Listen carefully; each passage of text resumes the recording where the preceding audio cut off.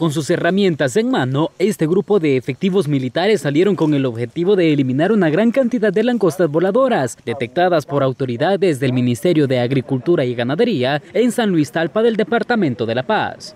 Hemos encontrado abundante cantidad de ninfas, lo que nos indica que todo este sitio es un, eh, es un lugar de reproducción de la plaga y de no desarrollar las acciones de control preventivo, esto representa una amenaza muy seria para nuestra producción agrícola.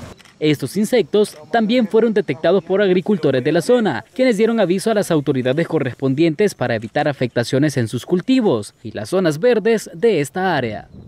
A la hora de hacer cualquier aplicación, nosotros en los cultivos andábamos con el sumo cuidado de andar pendiente de qué es lo que se podía encontrar en el área donde tenemos el cultivo. Entonces, al andar haciendo una fumigación, pude encontrar una pareja que estaba en apareación, estaban apareadas. Entonces, a partir de eso, pues hice la denuncia. Según especialistas, la presencia de langostas se debe a las inundaciones provocadas por la tormenta tropical Amanda. Todas estas poblaciones podrían convertirse en bandos en manchas o en mangas, ¿verdad? Que es el máximo nivel de organización de la plaga.